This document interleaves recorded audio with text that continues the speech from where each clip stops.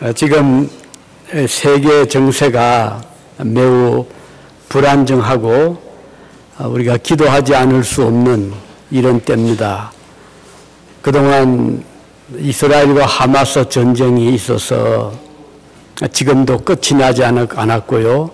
우크라이나 전쟁이 계속되고 있고 그리고 어제 저녁부터 오늘 새벽까지는 이란에서 이스라엘을 향하여 드론 한 300여 기를 보내서 공격을 했습니다. 아, 이 드론이라는 것은 그 폭탄을 싣고 가서 자포하는 거거든요. 그 목적지에 가서 어, 폭탄을 터뜨리는 무서운 예, 요즘 새로 개발된 이 전술인데요. 그런데 이스라엘이 그동안 아이언돔이라고 해서 이런 그 드론들을 막아내는 미국, 영국이 또 같이 공동으로 방어를 해서 한 99%를 막았다고 하네요. 하지만 1%도 적지 않죠. 그러니까 몇 대 정도는 목표물에 떨어지고 그래서 벌써 어, 그 죽은 사람도 있고요. 그리고 앞으로 언젠가는 또 이스라엘이 또 보복을 하지 않겠습니까? 이렇게 지금 세계가 벌써 새 서너 군데의 전쟁이 지금 일어나고 있고 앞으로 5차 중동 전쟁이 일어날지도 모른다는 이런 불안감을 떨칠 수가 없습니다. 게다가 지금 중국과 대만이 굉장히 긴장이 돼 있고 만일에 중국이 대만을 공격한다고 하면 또 옆에 있는 필리핀이라든지 일본 또 한국도 어쩔 수 없이 또 개입이 될 수밖에 없는 이런 지금 아주 절박한 그래서 우리가 할 수 있는 것은 간절히 기도해서 우리 하나님께서 이 땅에 평화를 유지해 주시도록 기도를 하지 않을 수가 없는 이런 절박한 상황입니다. 매우 우려스러운 일이 지금 전 세계적으로 일어나고 있고 이렇게 되면 어떻게 될까요? 전쟁과는 거리가 먼 나라들도 우선 경제적인 타격이 엄청나게 큽니다. 기름값이, 기름값이 폭등을 하고 물가가 뛰어오르고 민심이 흉흉해지고 그래서 전 세계가 함께 큰 고통을 겪을 수밖에 없겠습니다.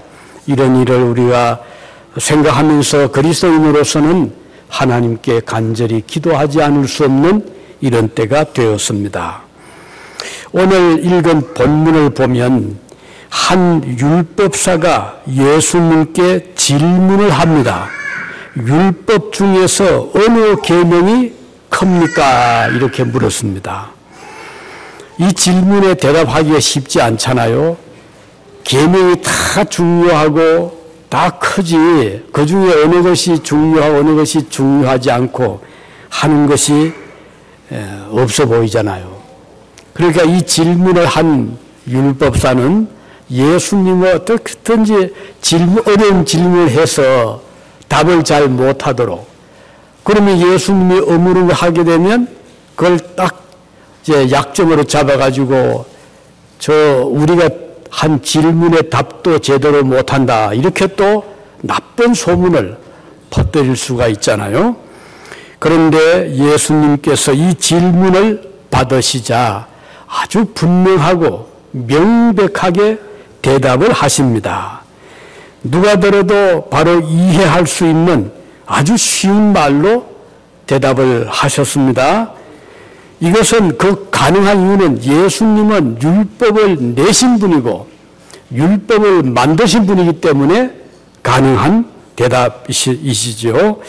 우리 주님의 대답이 무엇입니까? 첫째로 중요한 계명은 우리 하나님은 오직 한 분이시다. 내 마음과 목숨과 뜻과 힘을 다해 주 내 하나님을 사랑하라는 것이다. 이렇게 대답을 하셨습니다. 정말 분명한 대답이죠. 첫째가 하는 계명이 무엇인가를 설명하시면서 사람과 하나님과의 관계를 말씀하신 것입니다. 이것은 매우 특별한 대답이거든요. 왜냐하면 율법은 우리가 생각하기는 우리가 살아가면서 이것을 지켜라, 저것을 하지 말아라, 이렇게 인간 간의, 인간 간의 어떤 관계를 설명하기가 쉬운데 예수님은 먼저 하나님을 사랑하는 것이 첫째 가는 계명이다 이렇게 말씀을 했습니다. 그러니까 이 질문한 율법사도 좀 당황을 어, 할 수밖에 없는 그런 대답을 하셨습니다. 즉 예상하지 못한 대답을 하셨잖아요. 주님은 이렇게 율법의 첫째 한 계명은 내 하나님을 사랑하는 것이다. 나중 조금 설명을 드리겠지만 하나님을 사랑하면 모든 계명을 지키는 것이 된다는 의미가 있습니다. 가령 십계명을 보더라도 어, 다른 신을 섬기지 말아라, 우상을 멀리 우상 앞에 절하지 말아라, 하나님 이름을 망령되게 부르지 마라 또는 뭐 안식일을 지켜라 부모를 공개하는 그 계명들이 결국은 하나로 딱 요약을 한다면 하나님을 사랑해라. 왜? 하나님을 사랑하게 되면 이 모든 계명을 지키게 되는 그런 하나의 좋은 길이 되기 때문입니다. 하나님을 사랑하는 사람이 우상을 섬기겠습니까? 하나님을 사랑하는 사람이 부모님께 효도하지 않겠습니까? 안식일을 무시하겠습니까? 그러니까 우리 예수님은 율법의 핵심을 딱 집어서 첫째 가는 계명은 하나님을 사랑하는 것이다. 아주 중요한 대답을 해 주시는 것입니다. 두 번째는 예수님 또 그게 또 덧붙여가지고 두 번째로는 내 이웃을 내 몸처럼 사랑하는 것이다. 이것도 매우 중요한 말씀이죠. 이웃을 내 몸처럼 사랑한다면 도둑질 하겠습니까? 또는 뭐 거짓 정 거짓말을 하겠습니까? 그럴 수가 없잖아요. 이 두 가지만 우리가 딱 명심하면 율법의 모든 것을 지키는 그런 첩경이 된다. 이렇게 볼 수가 있는 것입니다. 그래서 하나님을 잘 섬길 때 세상은 달라지는 것이죠. 무디가 한창 부흥회를 막 이끌고 시카고를 위시해가지고 미국에 아주 성령의 놀라운 역사를 일으킬 때 경, 저, 감옥소의 죄수들이 확 줄었답니다. 왜냐하면 회개하고 변화를 받으니까 범죄가 사라지는 거예요.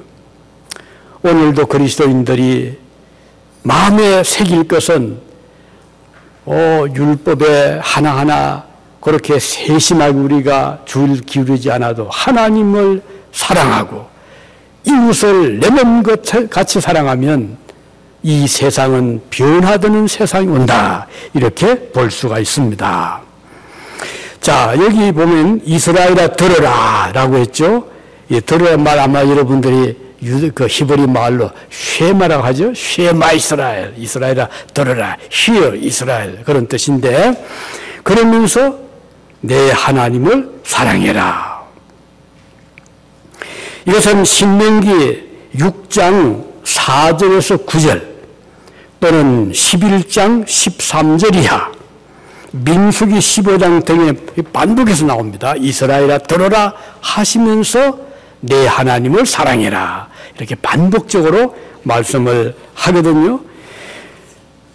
특히 유대인들이 자녀를 양육할 때, 기를 때, 그들은 이 말씀을 아주 보배처럼 자주 그리고 반복해서 읽게 하고 듣게 하고 또 가르칩니다. 이스라엘 들어라 이 말씀을 들으라고 하면서 내 하나님을 사랑해라. 계속 그들의 귀에 그들의 마음의 가슴에 새겨주는 것입니다.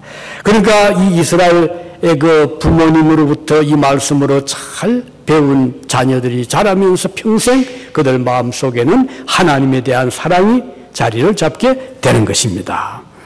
자, 그러면 주님께서 주신 첫 번째 계명은 하나님을 사랑하라. 이 하나님에 대한 사랑은 우리가 흔히 아가페라는 말 쓰잖아요. 아가페 사랑이다. 이 세상에도 사랑이라는 말을 우리가 세상에 많이 듣잖아요.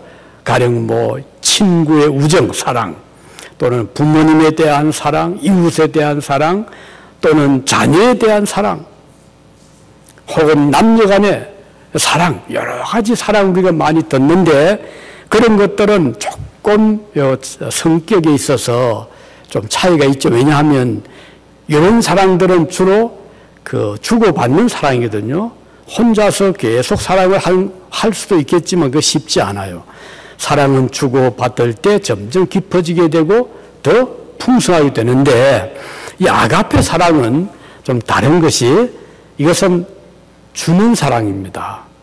마치 부모님이 자녀에게 조건 없이 자녀가 부모에 대해서 어떤 생각을 하든 부모는 계속 자녀를 향해서 사랑을 베푸는 것처럼 아가페 사랑이라는 것은 하나님이 인간에 대해서 끊임없이 주는 사랑이거든요. 인간들이 하나님을 멀리 떠나도 하나님을 알지 못해도 하나님은 끊임없이 태양빛을 비추시고 또 바람을 일으키시고 우로를 주시고 봄이 되면 많은 꽃들을 피워서 사람들이 그 하나님의 은혜의 아름다운 세상을 누리게 하듯이 그 중에서 예수 그리스도는 아가페 사랑입니다. 왜냐하면 주님을 알지 못하고 예수님을 배척하고 그를 십자가에 못을 박도록 그렇게 요청을 했던 그들을 향해서 예수님은 그들을 저주하거나 그들을 미워하지 않고 아버지의 저들을 용서해 주십시오 라고 하시면서 기도하신 이것이 바로 아가페 사랑이고 하나님의 사랑이고 주는 사랑이고 헌신적인 조건 없는 사랑이라 이렇게 볼 수가 있는 것입니다. 고린도 전서 13장 5절에 보면 사랑에 대해서 쭉 설명하면서요. 사랑은 무례히 행하지 아니하고 자기 유익을 구하지 아니한다. 이 말씀 나와요. 이것이 하나님의 사랑의 중요한 요소입니다. 자기 유익을 구하지 아니하는 그러니까 이기적인 사랑이 아니고 이타적인 주는 헌신적인 희생적인 사랑이 하나님의 사랑이라는 것입니다. 하나님은 천지 만물을 지으시고 우리를 지어 주신 창조주이십니다. 그런데 그 하나님이 천지 만물을 지으실 때 인간들에게 뭘 바라고 지으셨습니까? 전혀 아니잖아요.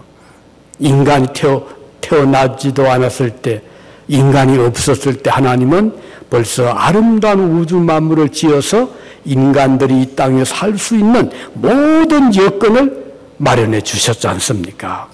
이것이 바로 하나님의 사랑이고 하나님의 그 절대적인 절대적인 인간은 상대적이고 조건적이라고 하면 하나님의 사랑은 무조건적이고 절대적인 아주 앱슬루트한 그런 사랑이라 이렇게 볼 수가 있습니다. 그래서 이것이 바로 우리가 하나님을 사랑해야 되는 첫 번째 이유라고 볼 수가 있습니다. 하나님은 오직 한 분이라는 이 사실 앞에서 어떤 다른 사랑의 대상이 신이 없다는 것이죠. 어떤 우상도 우리가 사랑의 대상, 우리의 사랑의 대상이 될 수는 없습니다. 우리 하나님은 천지 만물의 창조주이시기 때문에 권리가 있습니다. 하나님의 소유입니다. 하늘도 하나님의 것이요, 땅도 바다도 하나님의 것이고, 우리 인간들의 모든 존재도 그 소유권은 하나님이기 때문에 우리가 이 세상에 올 때 우리가 뭘 만들어 온 게 없잖아요. 예를 들면 어떤 음악을 잘합니다. 악기도 잘 다루고 재능이 많아요. 근데 그 음악적인 재능, 예술적인 재능, 문학적인 재능을 내가 스스로 준비해서 온 사람 없잖아요. 하나님이 각 사람에게 그런 재능을 주셨기 때문에 우리는 받아서 이 땅에 왔습니다. 그리고 평생 살면서 하나님 주신 재능을 잘 활용해서 어떤 사람은 비즈니스 기업을 잘 경영해서 아주 좋은 회사를 만들기도 하고 어떤 사람은 또 좋은 작품, 음악 작품이든 뭐 미술 작품이든 문학 작품이든 작품을 내기도 하고 하나님께서 주신 각 은사를 활용해서 인간들은 그것을 가지고 빛을 발하게 하고 또 그것에 주, 그것이 주는 보람, 즐거움을 얻게 되는데 그런데 이제 나이가 들고 80, 90, 100이 되면 하나님 주신 재능을 하나님 하나씩 거두갑니다. 자, 건강도 거두가요.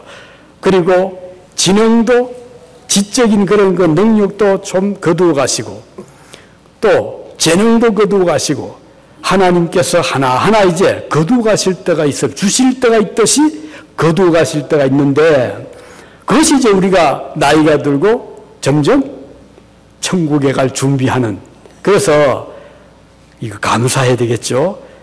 왜냐하면 아 나로 하여금 천국 갈 준비를 하게 하시는구나. 그래서 저는 가끔 아 저는 같으면 이런 정도를 뭐 잠깐 다 외우는데 지금 잘 안 되잖아요.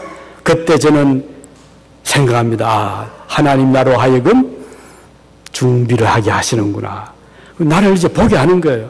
어느 육체의 한계를 알게 하잖아요.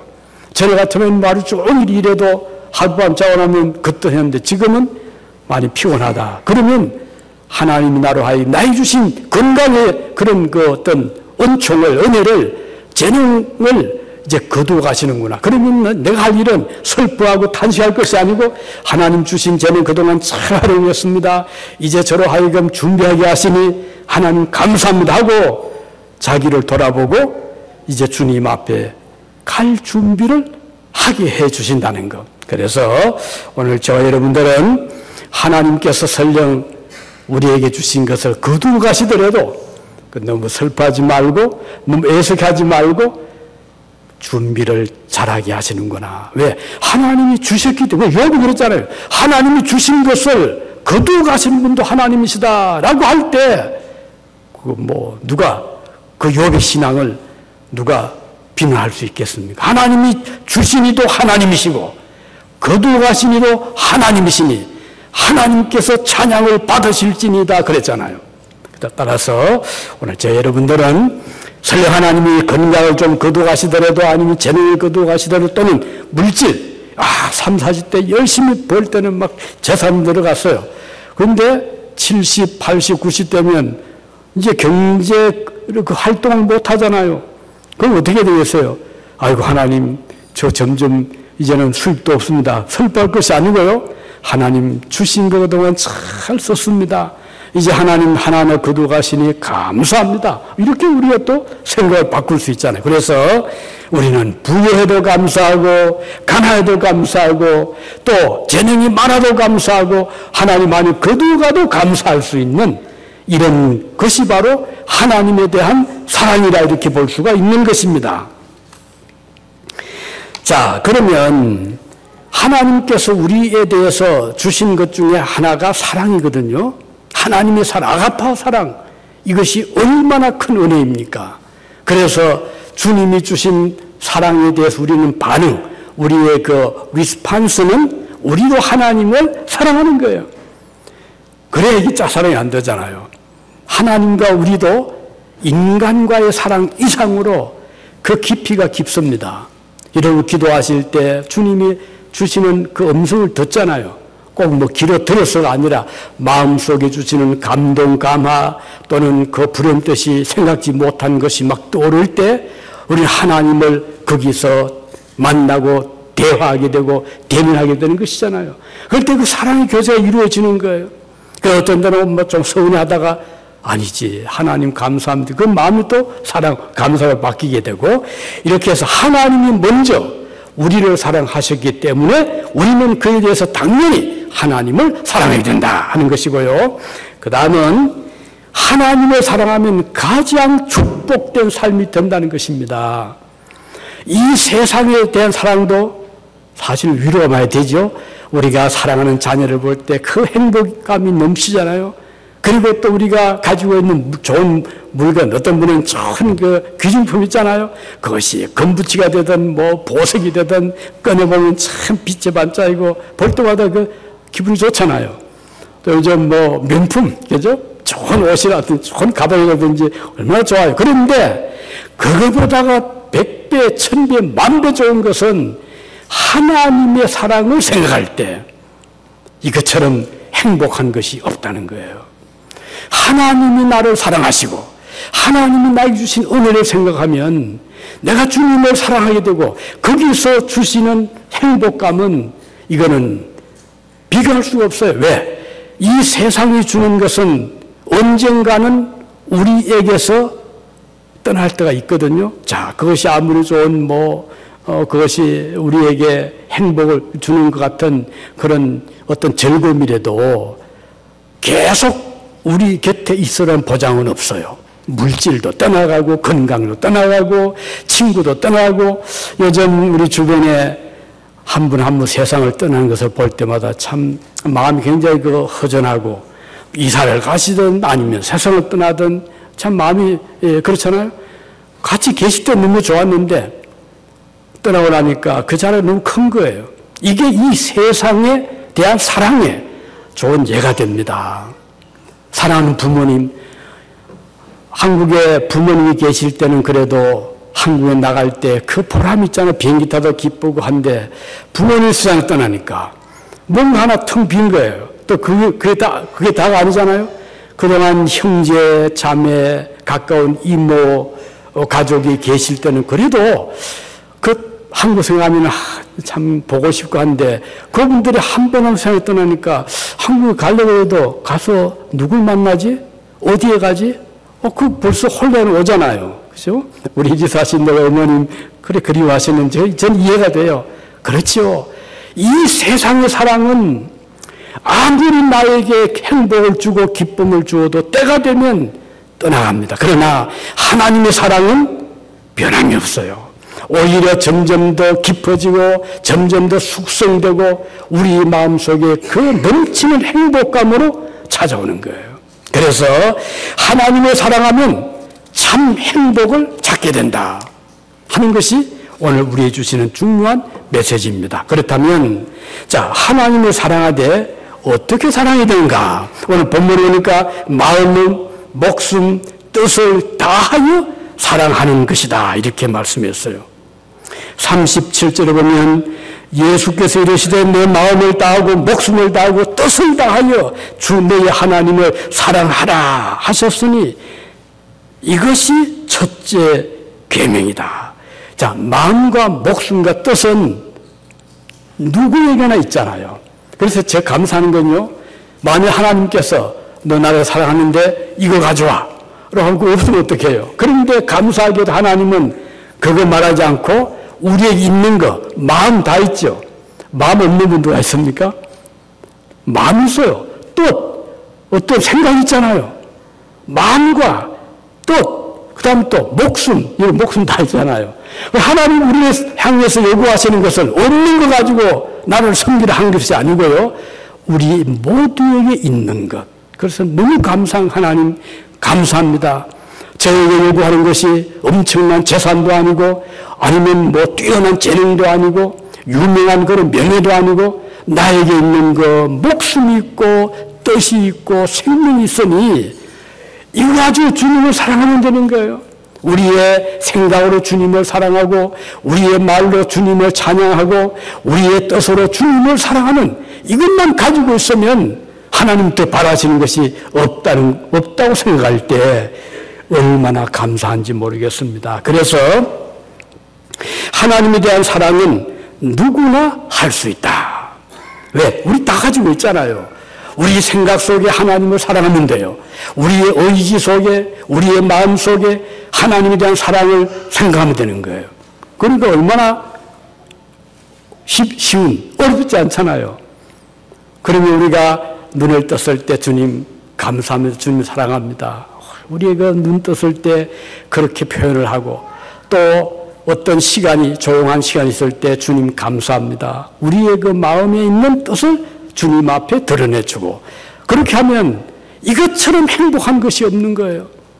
내가 만일에 세상을 사랑한다고 합시다. 좋을 땐 좋아요. 세상 친구들도 좋고, 세상의 아름다운 그런 그 자연도 좋고, 또 세상의 물질도 좋고, 아름또 맛있는 음식도 좋고, 너무나 좋은 것이 많은데, 그 아무리 가져본들 만족이 없는 게 세상입니다. 그죠? 좋은 집 가져보면 더 큰 거 가지고 싶어요. 좋은 뭐 어떤, 어, 내 가지고 싶은 가져보면 또 더 좋은 게 또 눈에 떠이잖아요. 만족이 없는 게 세상, 세상에 대한 사랑입니다. 그런데 우리 하나님에 대한 사랑은 만족합니다. 그러니까 거기서 그 아주 보람을 느끼고 더 바랄 것이 없는 그런 행복을 느끼게 되거든요. 그래서 우리는 하나님을 사랑할 때, 저, 그래서 많은 그리스도인들, 우리의 선배들은요, 하나님을 참 사랑했는데요, 마음과 뜻과 목숨, 그 중에 목숨을 생각합시다.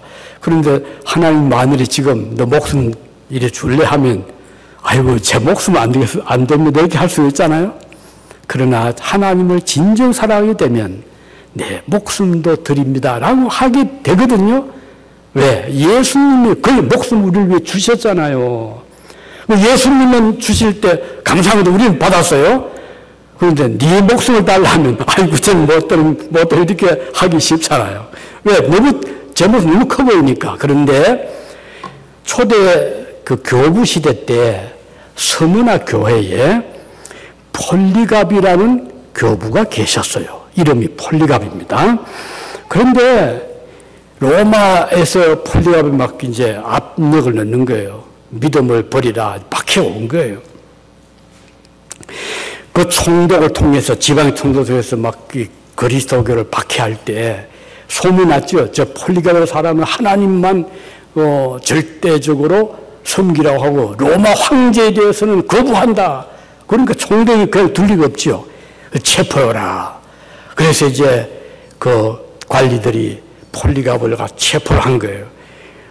당신은 로마 황제 대신에 하나님을 섬긴다고 하니 우리 법에 의해서 체포를 한다. 해가지고 그러지 딱 묶어가지고 이제 어, 데리고 왔습니다. 총독이 그에게 권합니다. 그리스도를 여기 있어라도 부인을 해라. 워낙 폴리갑이 인품이 훌륭하고 그 좋은 사람이라 소문이 나 있기 때문에 이 총독도 사실은 폴리갑을 아끼고 싶었거든요. 나이도 많고 나이가 거의 90이 가까운 때예요. 그런, 그래서 총독이 그 기회를, 기회를 준 거예요. 폴리갑. 당신이 지금이라도 그리스도를 모른다고 부임을 하면 내가 풀어주겠다라고 했습니다. 그리고 그는 이렇게 말합니다. 가이사를 신으로 인정을 해라.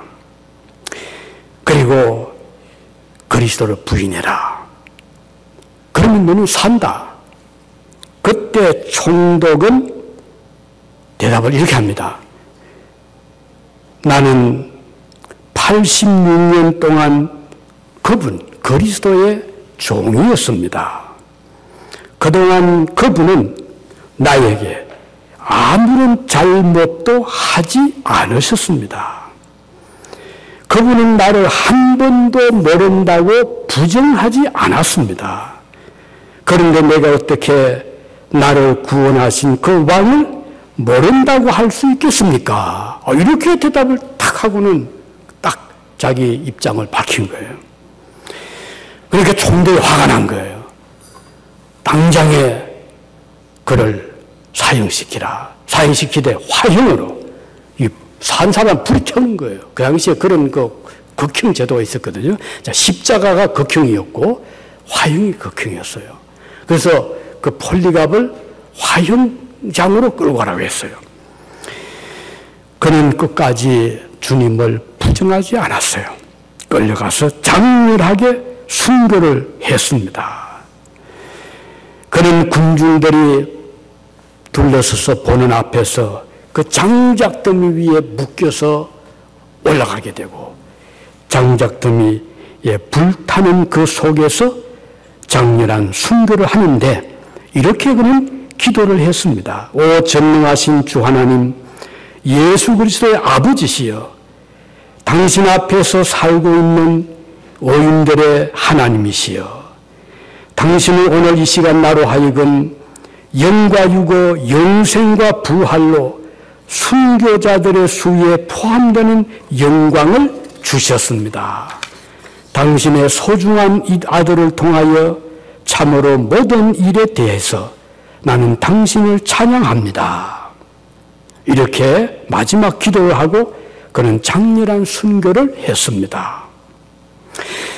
자, 이 폴리갑은 자기의 생명을 주님 앞에 다하여 그를 사랑한 것이죠. 우린 그렇게는 못하더라도 우리 하루하루의 삶을 통해서 나의 뜻과 생각과 목숨을 다하는 그런 마음으로 주님을 위해서 모든 것을 드릴 수 있는 이런 마음을 가질 때 그는 하나님을 사랑하는 자라고 하겠습니다. 마지막으로 오늘 주신 말씀이죠.